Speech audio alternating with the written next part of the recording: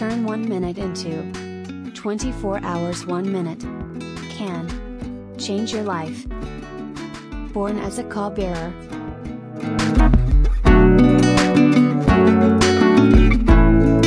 The veil is also known as a caul. Caul refers to a full face mask formed by the amniotic fluid which covers the face of a baby at birth. Babies born in a caul are often referred to as caul bearers. With less than one in every 80,000 babies born with a caul, it comes as no surprise that superstitions and stories surround this. Many cultures consider a baby born with a caul a sign of good luck. Chances are this belief. Happy birthday, August babies.